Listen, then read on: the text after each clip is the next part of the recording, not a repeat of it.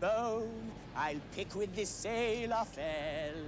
Let him be shown at once to his dungeon cell.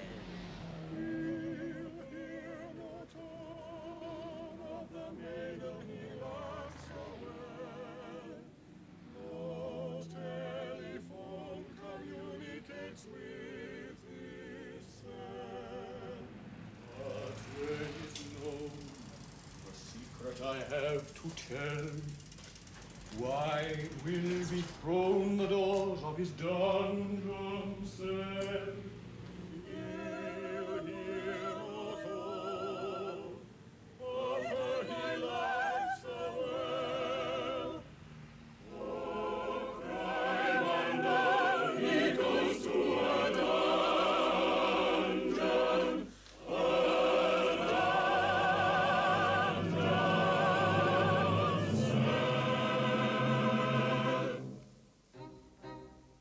My pain and my distress. All right, mates. They're doing all right, thank you very much.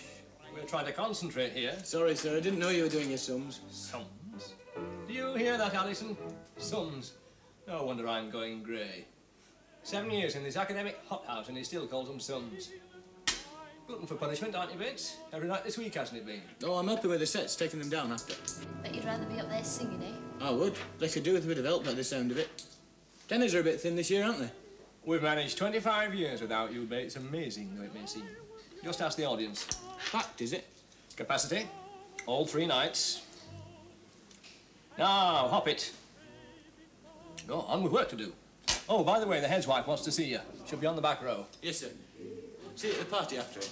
Great, if we finish touching up the takings. Right. If you get into trouble, just give us a shout. Hop it!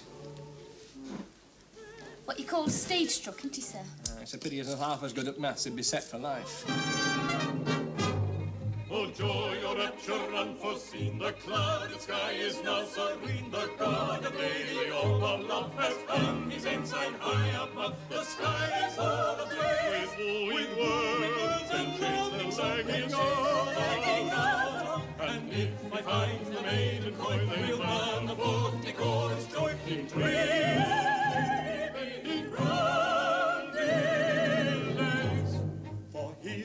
captain of the Pinafore. And a right good captain too.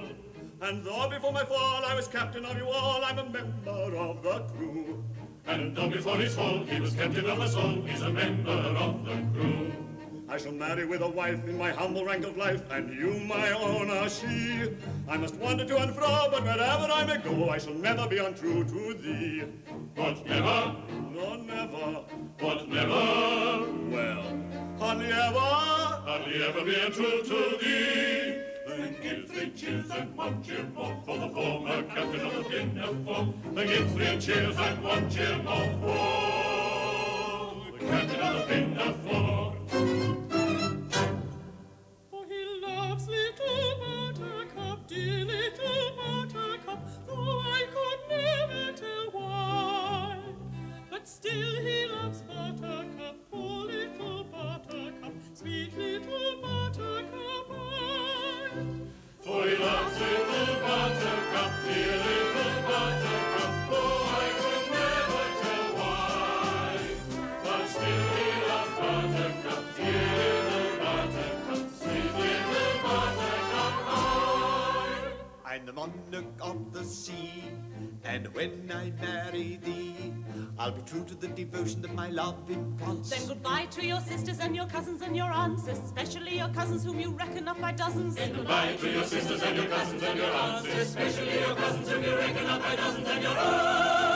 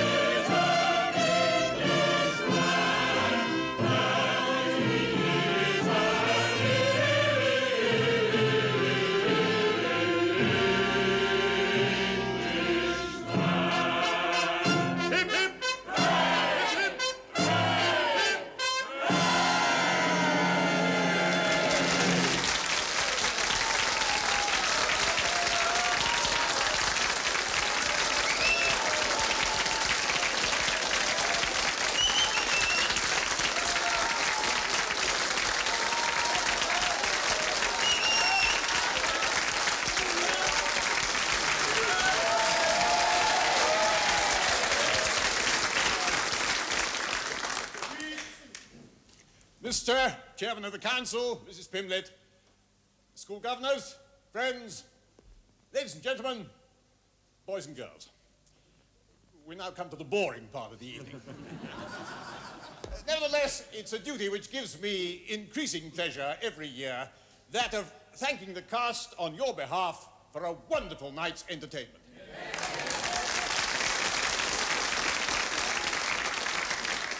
As always, I'm here in two roles, as headmaster and as producer. First, as the skipper.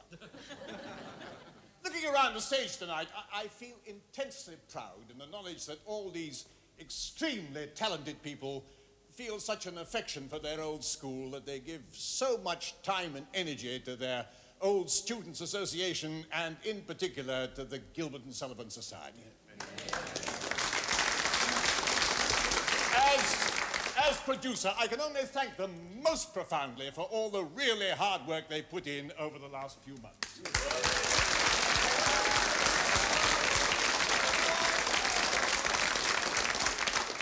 As always, it's difficult to pick out individuals for particular thanks, but uh, here goes. I, I don't think I've missed anyone out. If I have, there's a wet flannel available here in the wings. They can give me a wallop with it later.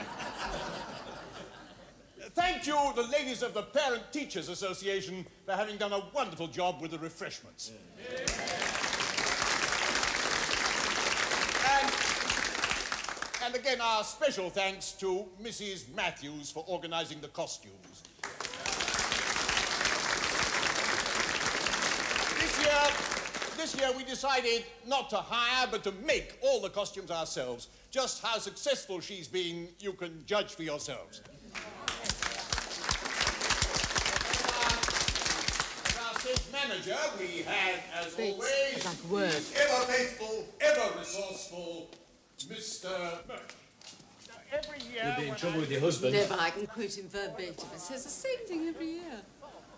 Now then, Alison, be content. She's old enough to be his mother. It's down, Clive. It's after school hours. We're here as equals. How old are you? 18, just. Old enough, then, For what? to have a sherry. It's not Christmas, is it? no, but let's pretend it is. Head's going down well. Hmm. What you might call a captive audience.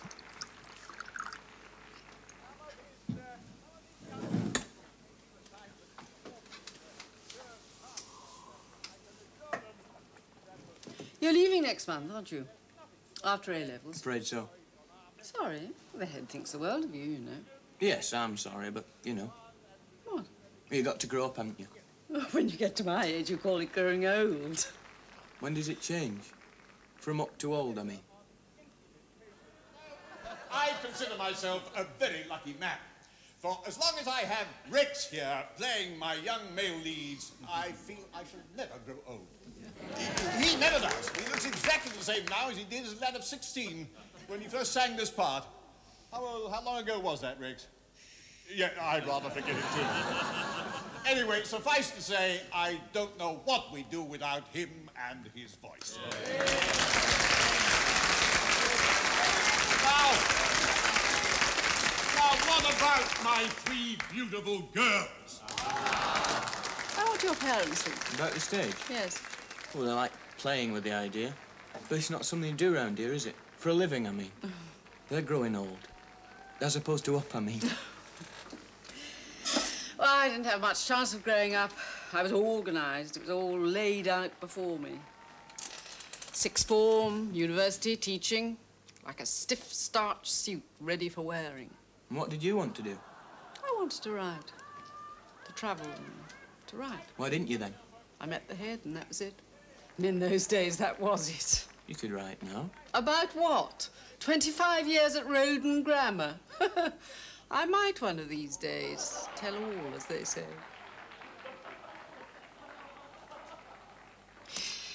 So, no stage for the moment. What's it to be then? I'm going to write. Weddings, funerals, amateur dramatics. Reporter, local rag. Marvellous. That means you'll be based at home. We're doing Yeoman next. It's our Silver Jubilee production. Clive, you'd make a wonderful Jack Point.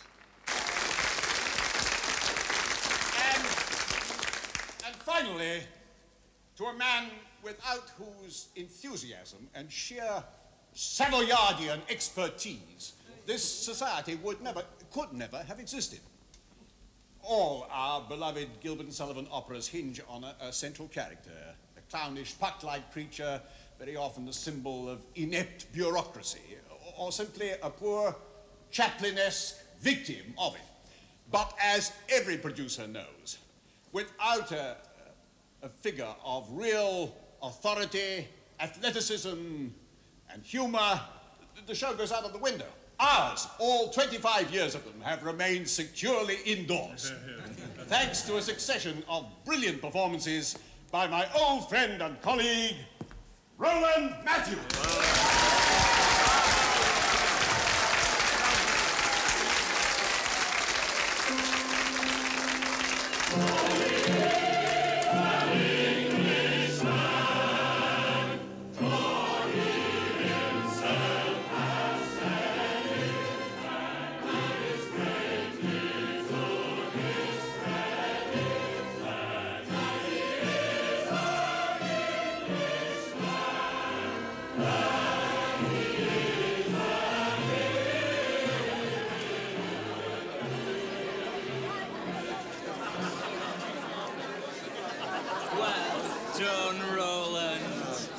Mouth round that one tonight, eh?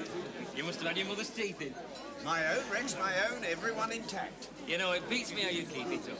How do you do it? What's the secret? It's the up and down motion, never miss, night and morning. Is that a fact? The teeth. ah, fella, another triumph of precision. You've never missed a beat in 20 years. Never? Well, hardly ever. See my wife? Oh, she's over there talking to Taffy. Hey, they're sharing a sausage roll, one at each end. Well, I better get to her then before they meet in the middle. Roland, just the man I want to see. Come over here and meet my bank manager. I thought he was the chairman of the council. She's both. How convenient. Come over and meet him anyway.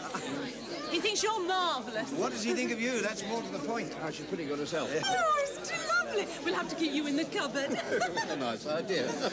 he was just saying, Roland, you're better than a pro. I meant it too. Oh, thank you very much. I think you must love it up there. Oh, I do. I wouldn't do it if I didn't. He's an old show-off, aren't you, love? You should have seen him taking us for English. Laurence Olivier wasn't in it. Ah, well, you were always such a good audience. Like Ella's like.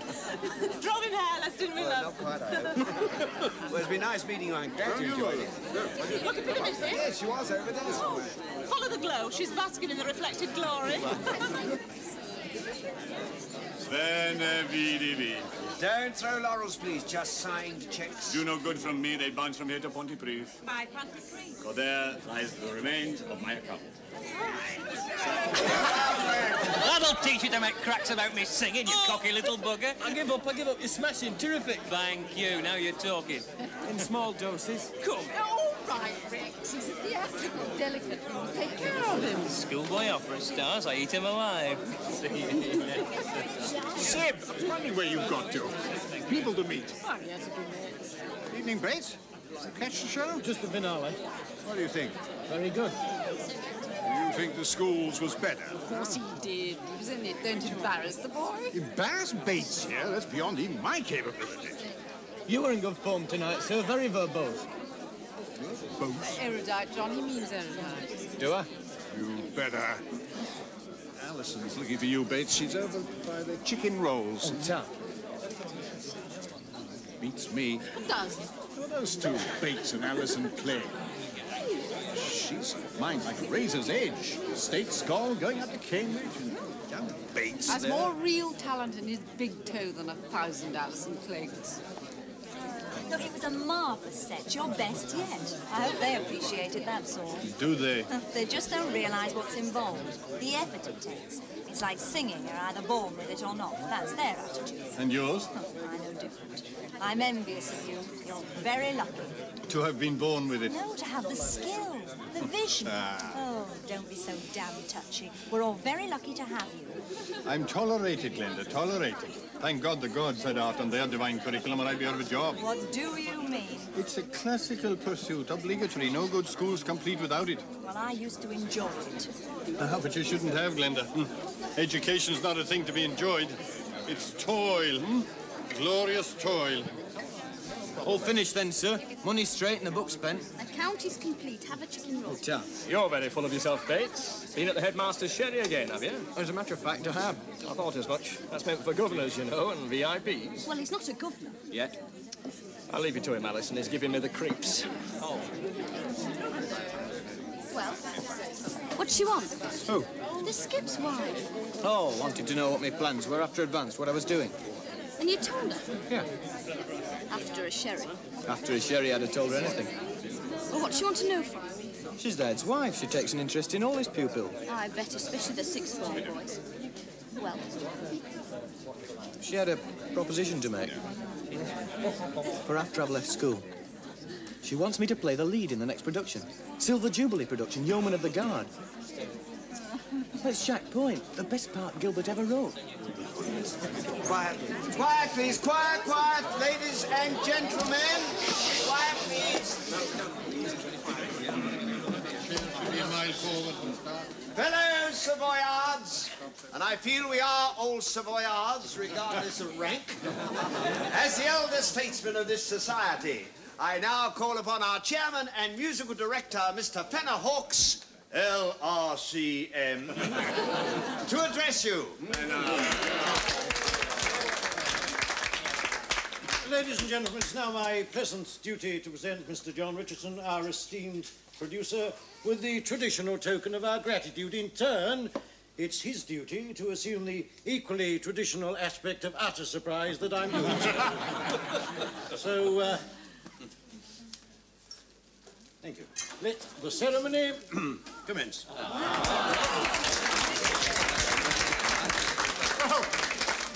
What a pleasant surprise! Thank you all very, very much once again. Now, again, by tradition, it is my duty to inform you uh-huh. of the title of our next production. As you know, we'll be celebrating our Silver Jubilee, and your committee and I have decided that so auspicious an occasion should be celebrated only by a production of the most auspicious of the Savoy operas, The Yeomen of the Guard. Many, many societies shy from attempting yeoman. Not only is it musically demanding, but dramatically so as well. So much as to strain the resources of all but the most endowed company. Your committee and I feel, without any possible shadow of doubt whatever, that we are such a company. Ladies and gentlemen of the Roden Grammar School Old Students Association, Gilbert and Sullivan Society, gird your loins, lungs, and whatever else you choose to gird.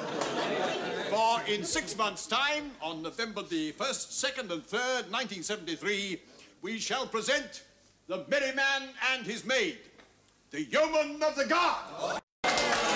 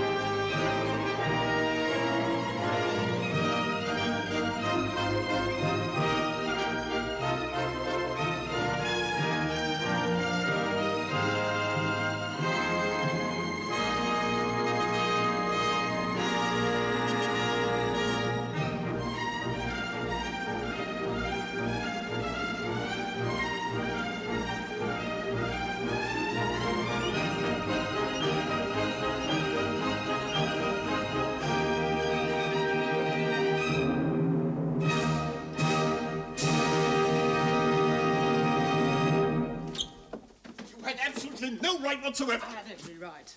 Under what pretext? Under no pretext. As your wife, I have no need of a pretext. Oh, I see. You feel that gives you the right to make my decisions for me. The right to share in them. I demand that, at least. My God, I'm given little else. I suppose I should feel flattered that uh, you even bothered to inform me after the event. Stop being so bloody melodramatic, John. This isn't a Gilbertian situation we're in now. Well, it's fast becoming one. Perhaps I might know in advance what I'm going to tell the boy. Tell him you'd like him to play the part, of course. Well, that's just it. I'm sorry, but I'm afraid I wouldn't. You what? Oh, don't be such a fool. It'd be marvellous. He's perfect casting. Of course he would. He's ideal. Perfect Jack Point. Well? What about Roland Matthews? Oh, John, you must be joking. Understand? But he's over 50. He's 55. But Point's a young man's part. A, a lovesick jester, agile, acrobatic. The piece hinges on his credibility. Oh, John, you can't be serious. I only wish I weren't. John, this is the Silver Jubilee production, and you suggest jeopardizing it for the sake of sentiment. A reward for faithful service. My God, it's an operatic society we're running, not a branch of the British Legion. You settle for that job then, with the paper? What do you mean? Come on, Clive, give me a flipping straight answer for once. Yes. I think so. You think so? And what about your acting? I've told you I'm doing Jack Point. Look, stop it. Stop avoiding me, running away, hiding like a baby. I'm asking you grown-up questions. Give me some grown-up answers. What about the stage? Well, Roland just hasn't got the voice. You must know that. Of course I do. But I also know Roland Matthews. He, he lives for the society. It's his whole life. Make him sound even more pathetic than he is. All right, he's a mediocre English master with a second-class degree. We're all mediocre, otherwise we wouldn't be here. Some are more mediocre than most. And some try to salvage something from their mediocrity. Roland Matthews has. Just twice a year, he's up there, someone to be reckoned with, cut above the rest. A reward, you say? Yeah, he deserves a reward. First bloody prize for effort. Well, are you going to have a go professionally or aren't you? Of course I'm going to have a go. When? But give me a chance, will you? Have bags of time. Who knows what'll happen? I know damn well what'll happen. Me out of sight and sound at university, you'll play your part and be brilliant. Toast of Roden. You'll have your cosy little job and a bit of money coming in every week. Nights with the lads. Cock of the ruddy midden in no time. And up to your flipping neck in it. Part of the bloody landscape. My mum and dad, they're nervous about it. Clive, they're middle-aged. You're all they've got and you're nice to have around. But you've got something. Something special. You can't ignore it. If you don't try, you'll be miserable all your life. If They just get a bit of experience first with the old Oh, boys. experience. Don't kid yourself. I don't know. Honest, I don't. Skip's wife, she was delighted. Well, of course she damn well was.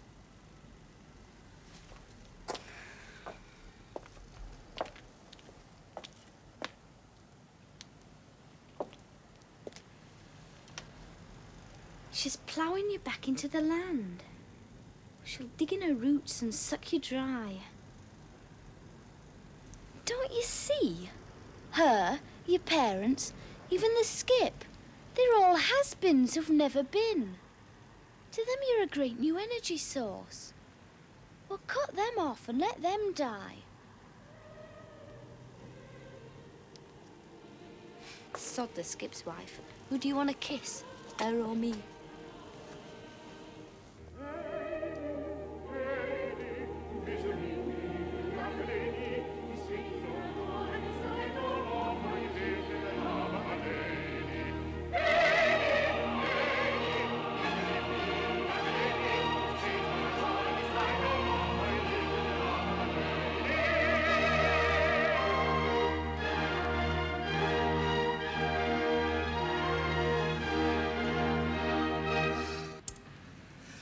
Jack Point. Please? Ah, I was beginning to think it would never happen. You know, Helen, I just can't imagine a life without that music. I'll never forget sitting at my granddad's feet on Sundays after chapel, snug between his polished, bull-nosed shoes and drifting on a cloud of St. Bruno. He'd lie back in his chair, close his eyes and sing, Take a pair of sparkling eyes, hidden ever and anon in a merciful eclipse. Ah, I suppose it's like that for everyone, this music. Nostalgic. It's, it's so unpretentious it hurts. You were very good tonight. Was I? Not getting past it, am I? That'll be the day. You'll tell me when I am, won't you? I'd rather die first. How about a nightcap? Act two, the same, by moonlight. John, have you ever wanted to be anything else? How do you mean? Other than what you, what you are. To do anything beside teach. No. No, I don't believe I have. How nice of you.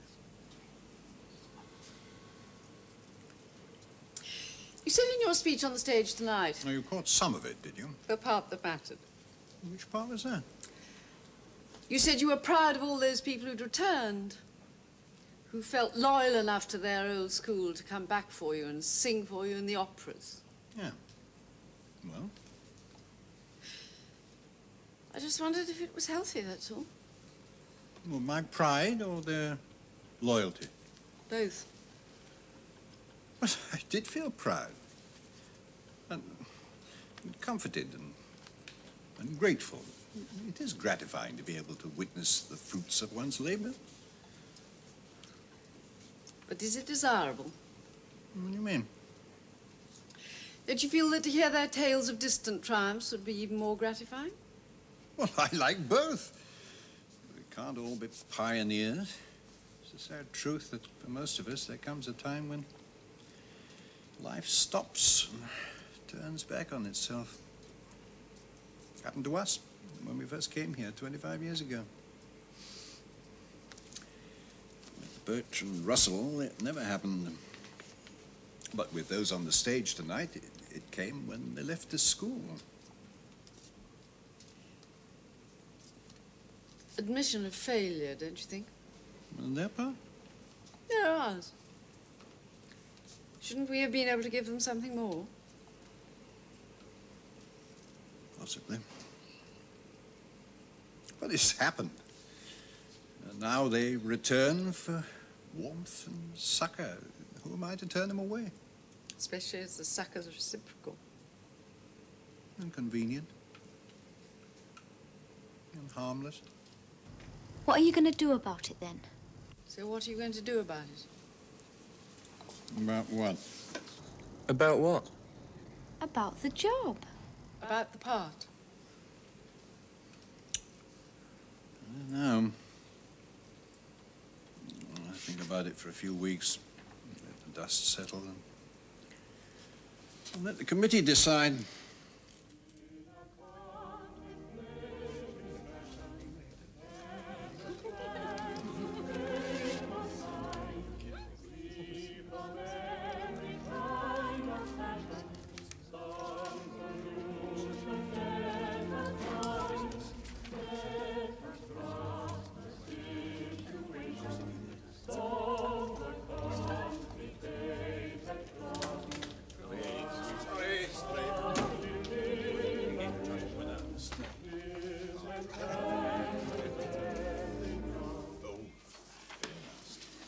Now, ladies and gentlemen, have I your permission to sign the minutes of the previous meeting as read? As we're pressed for time and we've rather a heavy agenda to get through, thank you. First, apologies for absence from Roland Matthews. It appears to be enrollment night at his evening class and he's forced to attend. He phoned me this morning. Is he teaching or being taught? I don't know. Well, that's a good straight answer. Yes, well, I thought we'd get the meeting off on the right foot. I like a man who speaks his mind. Yeah, yeah. You don't come across him these days. You don't. Not many honest men about. Definite scarcity, I would say. A rare bird. We're very lucky. We are. I'd like to propose a vote of thanks to our chairman for starting the evening's proceedings on such a forthright and honest footing. I second that. Mm, all those in favour say aye. Aye. Carried unanimously, thank you very much. right, number one on the agenda, costumes. No comment? Yes, we must hire next time. Yes, we must. afraid so. Oh, come on. Under the circumstances, Mrs. Matthews did a good job. Yes, and under the circumstances, I looked like a cross between a Yankee footballer and Napoleon. Which bit was the footballer? Shoulder. Napoleon. The sex appeal. Oh, I like it, I like it. You're telling me. You're getting all this down, Glenda? Mm, Through the chair, please, through the chair. Now, that's a novel idea. Setting the personal vanity of individual members of the cast aside, mm-hmm. we did save £200. By not hiring? Yep. Well, that's a lot of money. Mm, it is. I still looked like Napoleon. Playing quarterback. You sang like a quarterback. Playing Napoleon. Oh, oh thank you. Donal, you're the artist. What did you think of the costumes? Well, uh, on what level am I to judge? The aesthetic or the expedient? Preferably both. Well, economically, of course, they were obviously excellent, if, if the figure is to be believed. It's correct. Arrived at systematically, logically, not emotionally. Aesthetically, they were disastrous. Makeshift, piecemeal, inaccurate. In a word, tatty. I think you're all bloody ungrateful. Hmm. Nevertheless, they were tatty. And what if they were? We're not professionals. Mrs. Matthews worked damn hard on those costumes. A damn sight harder than some I could mention. Well, I I was asked for an opinion. Well, you've given it, so shut up. I'm not going to sit here and let Oh, no, shut order, Glenda, order. Now she's a right to put Timothy in. Order, please. Three pints of bitter, a pint of mild, a glass of lager, and what's yours, Glenda? Oh, shut up, Rex. Sit down, Red. Ladies and gentlemen, we've a lot to get through. Mr. Richardson, as producer, what do you think? Well, I think as regards our next production, the decision's made for us. The costumes for yeomen are much too difficult to be made domestically. We, we must hire. Yeah, yeah. But I think our thanks should go on record to Mrs. Matthews and her helpers for the wonderful job she did in dressing Pinafore. Mm-hmm. I propose. I second. Hypocrite. Who the hell is she calling a hypocrite? Ladies and gentlemen, please. Those in favour? Carried unanimously. Right, so now the next production points arising. Mr. Point certainly has arisen. A very sticky point. I have a casting problem. Now, normally, as you know, I wouldn't dream of taking up the committee's valuable time with a matter of this nature, but the particular predicament I find myself in at the moment leaves me with no real alternative. Apart from that, I personally would value your advice. A decision has to be made about Jack Point. As you know, the show virtually hinges on the part. Yes, what about it? We have to decide who is going to play it. Oh, a private buffoon is a light-hearted loon if you listen to popular rumor. He's so joyous and bright from the morn till the night, and he bubbles with wit and good humor. He's so quaint and so terse, both in prose and in verse, yet though people forgive his transgression, there are one or two rules that all family fools must observe it, they love their profession. There are one or two rules, half a dozen maybe, that all family fools of whatever degree must observe if they love their profession. If your master is surly from getting up early and tempers are short in the morning, and inopportune joke is enough to provoke him to give you at once a month's warning, then if you refrain, he is at you again, for he likes to get value for money. He will ask then and there, with an insolent stare, if you know that you're paid to be funny. Oh, it adds to the task of a merry man's place when his principal asked with a scowl on his face, if you know that you're paid to be funny. Though your head it may rack with a bilious attack and your senses with toothache you're losing. Don't be mopey or flat, they don't fine you for that if you're properly quaint and amusing. Though your wife ran away with a soldier that day and took with her your trifle of money, bless your heart, they don't mind. They're exceedingly kind. They don't blame you so long as you're funny. It's a comfort to feel if your partner should flit. Though you suffer a deal, they don't mind it a bit. They don't blame you so long as you're funny. Young Bates has been telling his friends he's been offered the part. Says he's been told he is tailor-made for it. Yes, too. Has he been offered the part? Uh, not by me, no. By whom, then? Indirectly, by my wife. She's long been a fan of the boys, as indeed we all have. In performance, at least. Only, not at least.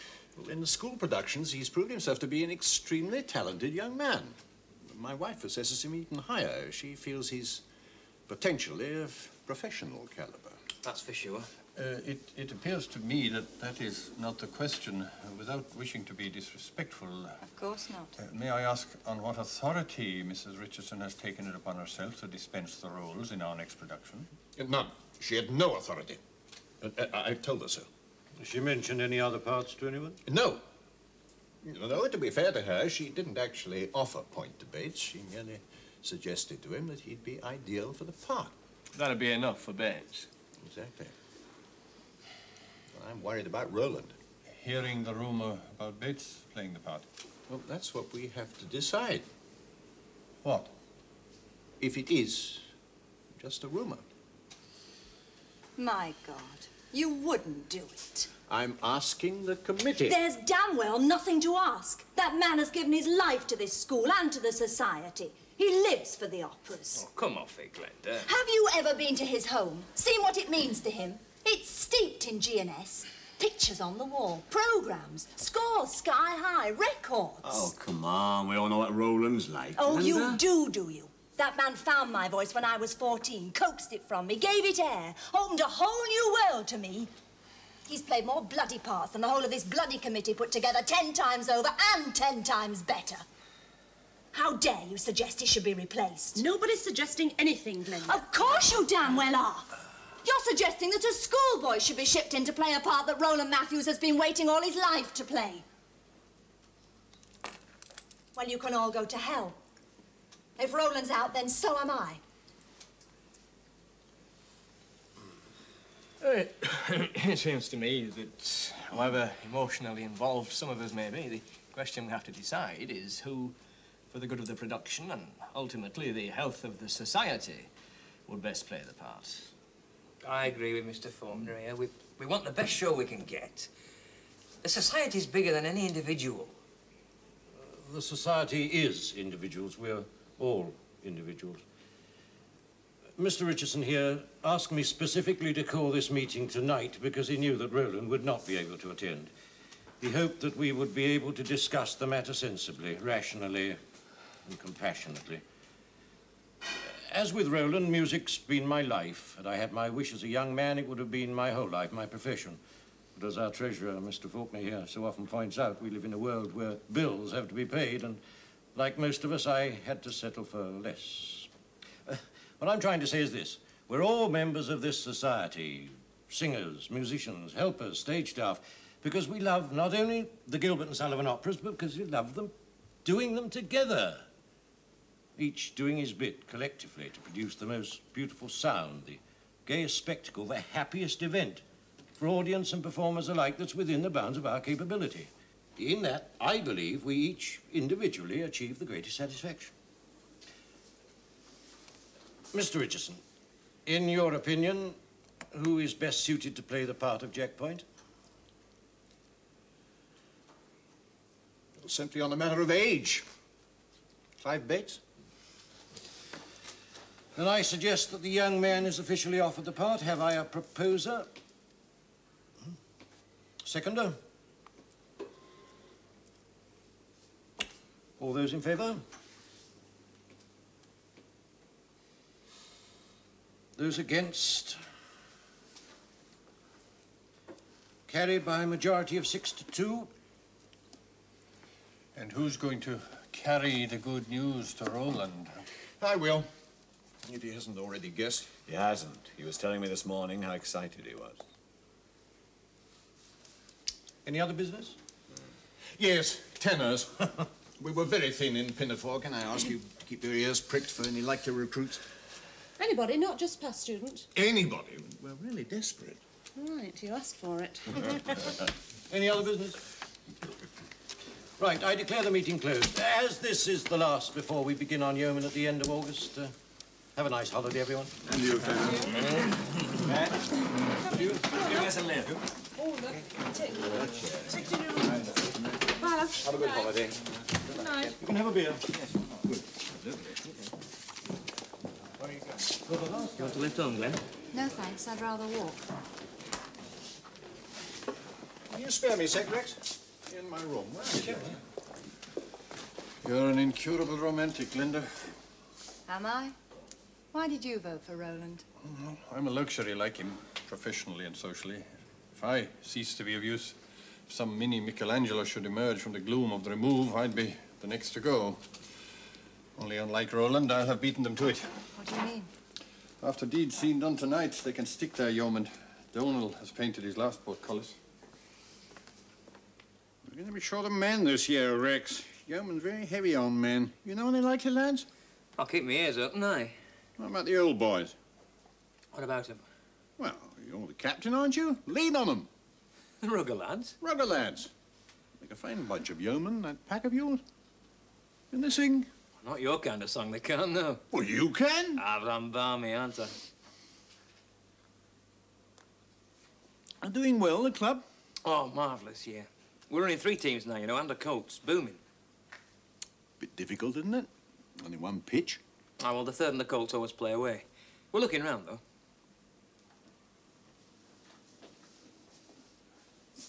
School bench? What about the council? It was them chucked us off in the first place. Oh, councils are all bent these days. Don't you read the papers? You find me the singers, I'll find you the pitch. How many do you want? As many as you can muster. Let's see, we finish A levels next Thursday, sports day the next week, break up the week after that, July the 20th. How about the following Monday, the 23rd, in the hall, 8 o'clock? Well, it's close season, but I can ring round. That'll do, aye. Oh, sorry, am I butting in? No, I'm just finished. Oh, how's the family, Rex? Fine. How many have you got now? Three. Two girls and a boy. Oh, my God, you make me feel old. Oh, you don't look it. Oh, no wonder you were head boy. John always picked the charmers. Right, well, I'll see you on the 23rd. And you just want singers.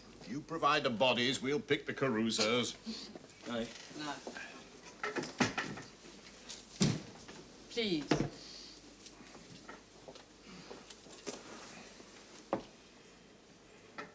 Well? It's Bates. They chose young Bates. Please? I am, and I'm not. I've got to tell Matthews he's got the chop.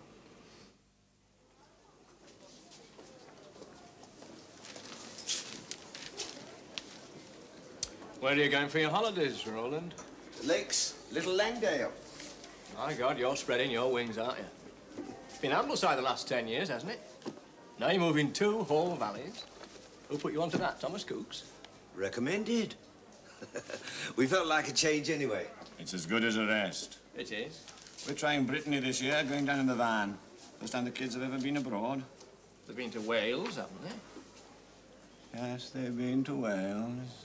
Same race, really. Celts. Brittany, South Wales, Cornwall, coast of Ireland, all the same stock. Washed up by the tide, eh? Flotsam. It's a good job I'm a gentleman, or I'd tell you two English bastards what to do with your bloody country. Sod it! Here, here. Smudged it. No, I just give him one A. Williams, an excellent for Latin. Is he? No, he's bloody hopeless. He's one of these lucky lads with no academic future. He'll end up making a fortune selling firewood. What kind of plaint have I? Who perish in July? Who perish in Cheer up, Roland. What's all about this about perishing? And in July as well. We break up today, man. Seven long, lazy weeks with nothing to do and no money to do it with. And you're singing about perishing. What's the matter? Had a premonition or something? It's from the Yeomen. We've been playing it over.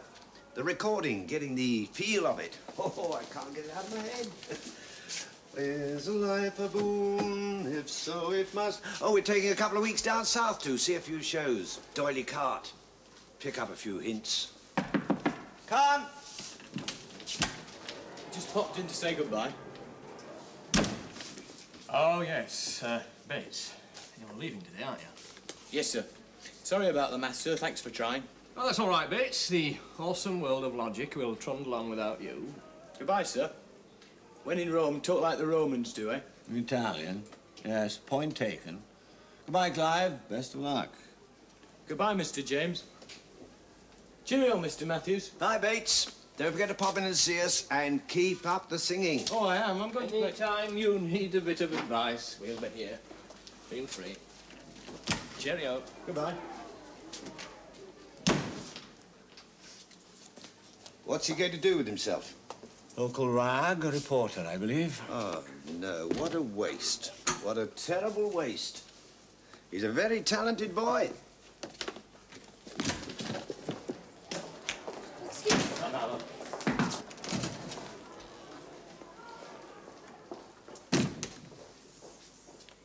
You haven't told him. Well, not yet, no. I Haven't got round to it. You haven't got round to it? The man's making a bloody fool of himself in front of half the staff room out there, and you say you haven't got round to it. What about Bates? Have you told him? I've mentioned it to him, yeah. He's just popped in to say goodbye. They were face to face. If it hadn't been for me, he'd have destroyed all Matthews. Is he gone now? Oh. Bates. Yes. Thank God for that. Don't thank God, thank me. You took it upon yourself. To tell him, yes, I know. And I will. In my own time. It's just that... Well? I don't much relish the job, that's all. My name is Basil. I'm married to a boy called Bond. We have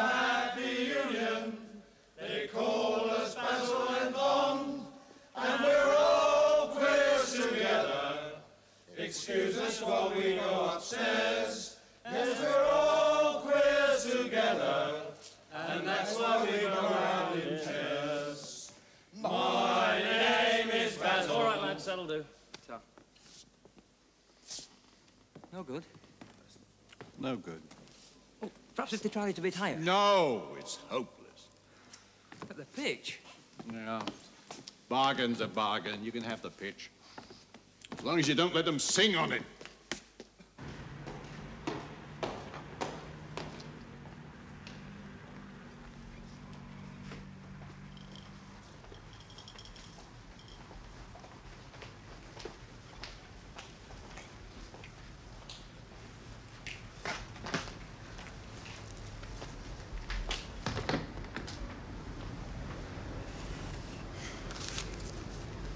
Give a few minutes yet. Yeah, I know. What time do you get there? Around five, I have to change umpteen times. Sad.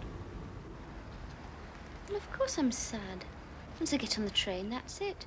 The end of the first quarter of my life. You're only going off to Cambridge, for God's sake. Come on, you talk as if you weren't coming back. I'm not. Not this Alice in any road.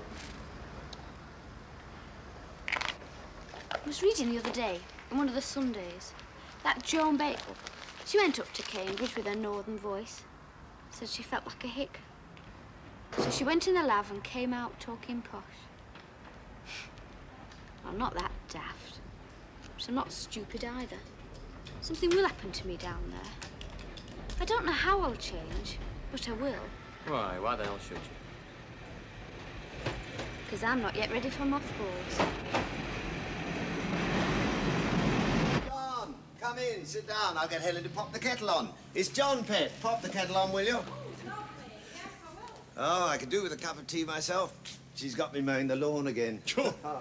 First sign of a daisy, and she packs me up to chop its head off. She's a funny woman, Helen. Gets all steamed up about battery farming, runs bazaars for day-old chicks, but day-old daisies, no trouble at all. Dual morality is a common failing. Do-gooders, they're all the same. They all pick and choose what to shout about. What are you shouting about? We're talking about lawn mowing. Oh, don't talk to him about lawn mowing. He'd be happy with the Rossendale Forest out there. The Rossendale Forest is a range of hills. Yes, I know. That's what I mean. When you finish the mowing, you can give it a roll. For 35 years, I've been taking her on, and I always lead with my chin. Do you know what I wish, Clive? What? I wish I could leave one foot behind, steady, till I'm sure of the next step. But I can't. And I'm glad I can't. It would make a fraud of the whole adventure. Look at the town, Clive.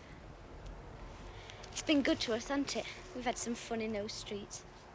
There's the old bottle works yard where we had the giant bonfire. And the firemen came and we booed 'em off. Do you remember you walked me home down Beckett's Cut and you touched my breast and I thought the end of the world had come? Those memories, they're good, solid memories. That's all they are. And am I really going to leave you behind? Three months, it'll flash past. Christmas in no time.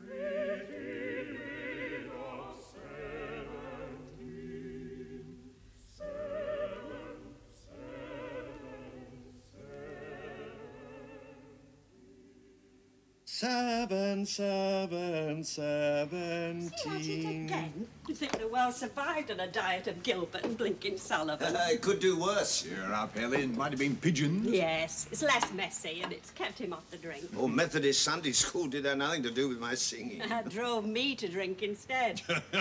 See what I mean? well, I'll leave you two layabouts to it. I've got work to do. You should join Women's Lib. I'm 30 years too late, and I would. Yes, you would too. You know, John, we're very lucky, you and I. Our wives. Oh, life would be pretty boring without Helen.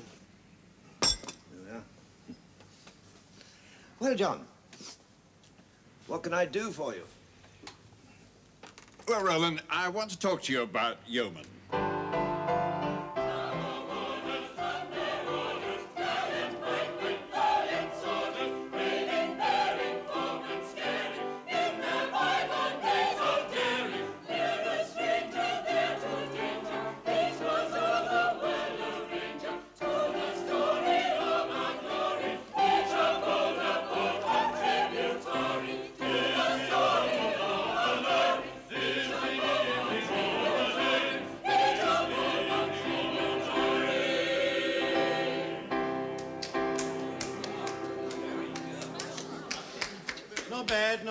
At all, but you're all enjoying it too much. We've had our fun over the past month, but now the principals are here with three weeks to go, and we're here to work. If we don't get it right now, we never will. We'll fall into bad habits, won't we, Mr. Barker? But now we are all together, I thought for pipe openers we'd go from the middle of uh, page 178. Uh, no, one, one, 176, that's just the after your prayer. Will you have a look at it now while I have a word with Walter? Um, try to remind yourselves of the exact structure of the score. We come to interpretation later. Thanks. So, uh, what happened to the boycott, huh? Got at you, did they? Did a Watergate? Dug up some secrets out of your past? They rely on me. There's no one else. Skip came to see me.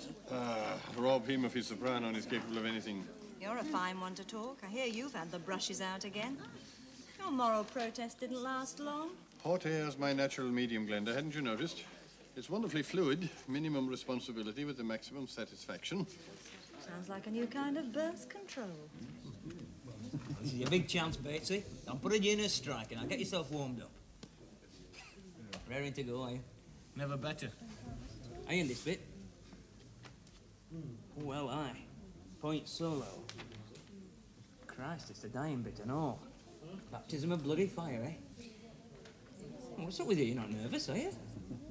What have I got to be nervous about? Have a nice holiday. Oh, memorable. Went in the van to France, Brittany, one of these camping sites. Oh, lovely. Marvellous. Kids got dysentery after two days, me after three. What about Betty? Oh, right as bloody rain. Constitution like a turnip, that one. All right, ladies and gentlemen, we'll have a muddle through. Remember, remember the plot. Leonard, whom Elsie loves, is now Fairfax, but Elsie doesn't know it. Then Leonard reveals himself to her as Fairfax, and they rejoice, and Jack Point enters heartbroken and dying. All right, Elsie? And um, that's, that's bar, bar 9, uh, 178. 176. And uh, Fairfax, remember, handsomely dressed, attended by other handsome gentlemen.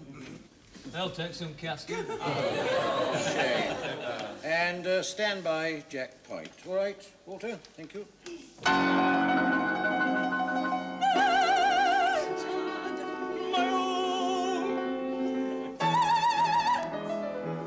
With happiness my soul is closed.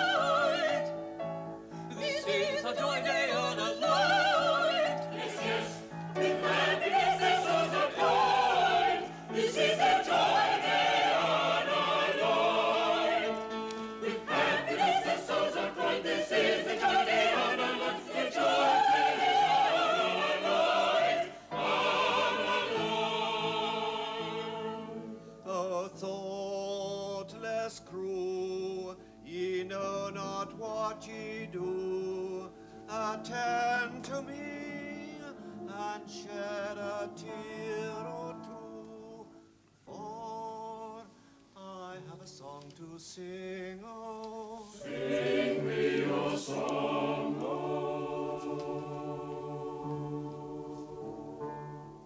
It is sung to the moon by a lovelorn moon who fled from the mocking throng. Oh, it's a song of a merry man moping mum whose soul was sad and whose glance was glum, who sipped no sop and who craved no crumb as he sighed for the love of a lady. Clive.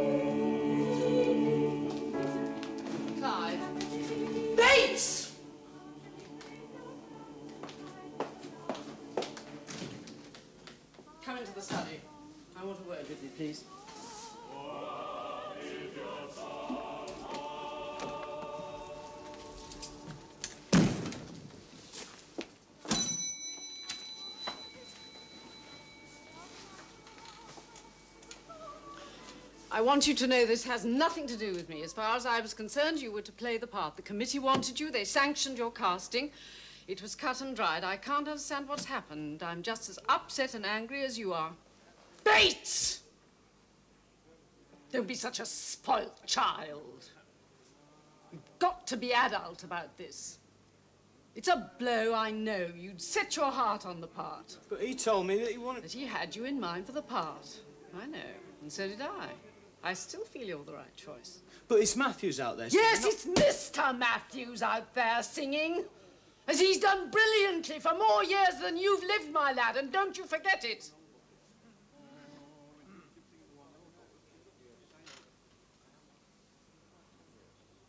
Clive, you've to decide calmly, pushing all your bitterness and disappointment aside, do you want to sing with us or not? For if you walk out now, there'll be no coming back. They'll never forgive you. And they need you. They all need you. Without you, I can't conceive a future for them or for the society. I mean it. You have a very special talent. You hear that? That's a swan song you're listening to. Next year, let's make it a debut, shall we? A triumphant one? Okay? Now, you go in there and help the tenors out.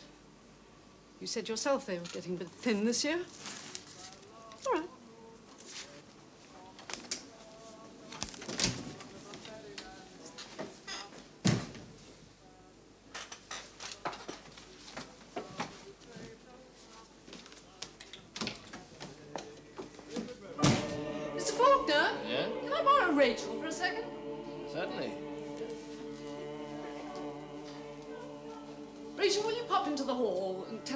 Headmaster I'd like to speak to him for a moment?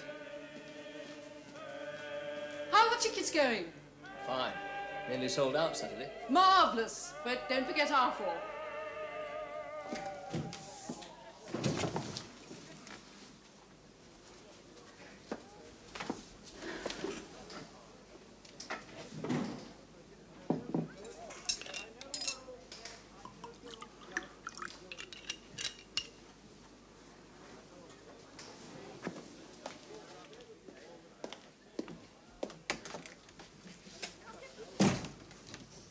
Before you start, I know it's hard on the boy, bitterly hard. Must be very bad about it. But I just couldn't find it in myself to tell Roland. I tried. I had every intention, even this evening, I had every intention. You're a despicable coward. I know. I know, I know. I know what you think. How it looks to you. To all of them out there, but I was the one who had it to do. And when the crunch came, I hadn't the resources. Nothing can change that. It's happened, the decision's been made. That's all there is to it. Roland sings point and Bates sings chorus. He's young, he'll get over it. He'll have his chance. Roland Matthews might well have been destroyed. You know something, John? For the 25 years we festered in this godforsaken hole, in this godforsaken school with these godforsaken people, I've had one crumb of comfort to cling to, one single note of moral sustenance on which to justify our existence, that you actually belonged here. That however stupefyingly boring and stultifyingly tedious and eternally fossilizing it was to me, you actually found fulfillment here. As king of this corny little castle, I thought you were content. I now find I was wrong. You simply hadn't the guts to grab for anything more. I better get back. There are a few people coming back for coffee. I'll need to get it ready. Sib. Clive Bates. He's a lot to do with his life. Plenty to give. Let him go. Let him get on with it.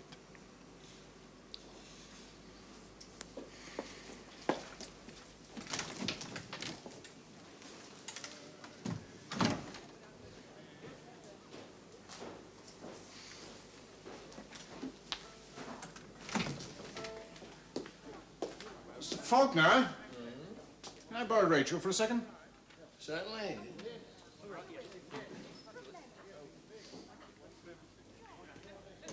Can you pop in the hall and ask Mr. Matthews if I can have a word with him? Thank you.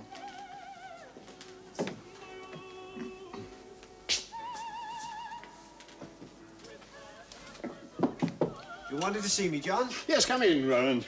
Sit down. Y- y- You don't. No, no, no, no, thanks. No. Roland, there's been some controversy within the society about you playing point. I want to tell you about it myself before the old scandal machine gets rolling. There was a lobby for young Bates to play the part. Quite a powerful lobby. He's a very talented boy. Yeah, I think so too, but not quite ready to take on point. He's young. It's really a young man's part. You're Too young. It is our Silver Jubilee production. We needed your experience. No, it, it's just that. Next year, you feel he deserves a chance. Yes, I understand that. And how long has this been going on, this debate into the state of my preservation? Since Pinafore. And you chose not to involve me. But the decision didn't involve you or Bates. I see. You know, John, after 25 years, it hurts to be emotionally classed with a schoolboy. You did prefer me, John, to Bates. I should hate to be patronized on stage as well as off it. I preferred you.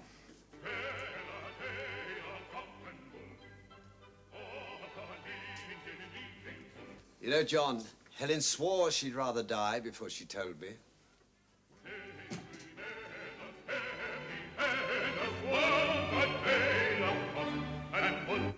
What's going on there, Roland? Five past ten Downing Street over there. Cabinet decisions. Everything all right then? Fine. What a tale of pop, what a tale of fool, what a tale of pop, what a tale of fool, what a tale of cock and bull, cock and bull, cock and bull, and defend us, what a tale of cock and bull.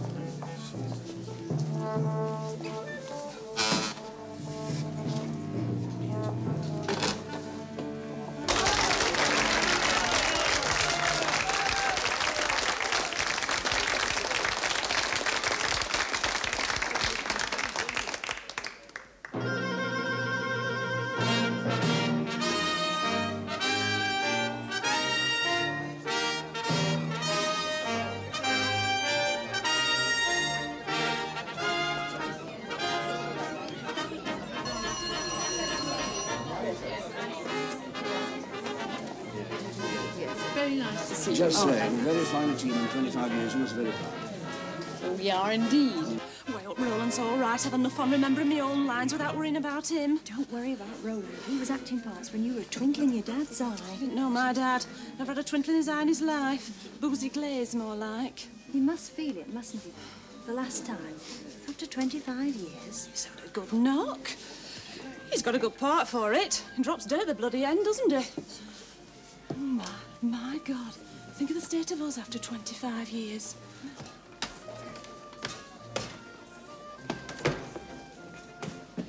Wonderful set, Donal. Never cease to amaze me. There's a tins of school paint. Glad you like it. When the show's over, I'll sign it, have it framed. You can hang it in your study. Nervous? Me? No, that's one thing about having a superiority complex. I'm convinced I'm doing them a favor. How's Roland? Just the same. Subdued. Helen says he's fine, though. Ah, oh, sad night. oh, he'll be all right. He'll do it in his sleep. Come on, Dick. And I thought, if we were to sell our place, say, just after Christmas or around spring, then we could move into the bungalow just in time for the season starting. The Isle of Wight's still very popular. I could take in guests and you could easily get a little teaching job. Look up, love, now. Right up. I don't want to poke your eye out. Molly's keeping her eye open for a place. She wrote last week. My God, Roland, you look a bugger in that hat. Just like Mr. Punch. hey, put a peg on your nose and squeak, we could go into business. Make a fortune on Blackpool prom. Ah, well, uh, best of luck, me old mate. Go on, LA. Cheer up, boy. It's a comic opera you're in, not bloody Aida. You're as bad as Roland. He's on a trip or something over there, transported. I just feel a bit sort of out of it, that's all. Well, it's only natural. You're growing up, boy. You and me. Master pupil, two months ago, and now look at us. Teach me a thing or two about this lark, eh? About the chance. Oh, you'll get your chance, boy. A pal of mine back home waited seven whole years to play for Wales. He got his chance in the end. Played well, did he? Terrible man. Made an absolute bloody fool of himself. He never got picked again. There's a moral there, Bates boy. If at first you don't succeed, give up. Manage one, 50p single. X24 just been returned. Best to book in advance, you know, Silver Jubilee. You're very lucky. Uh, remember that when we come to our 50. Uh, somebody else in my job then, thank God. Thank you very much. Thank you. Uh, pop it in the tin, Rachel. We'll tot it all up when the heat's off. D'Oyly Carte never have this trouble down at the Savoy. Bet their dick is fit and all. Yeah, I couldn't get a word out of him. He gave me the creeps, especially in that hat. Oh, young Bates is the same. He's sitting down there, face as long as a donkey's toe. My God, I thought we were supposed to be in Scotland, or have I got it wrong? With a voice like yours, you better hadn't have. Oh, we can't all be castrati. You what? Boy singers in Rome had their balls chopped off. If you stay up here much longer, you'll be joining them. I bet, I bet, boy. Oh, God, they take it too serious, Roland and Bates. They want to grow up. Pair of them. They do. They're out for a couple of kids. Oh! Are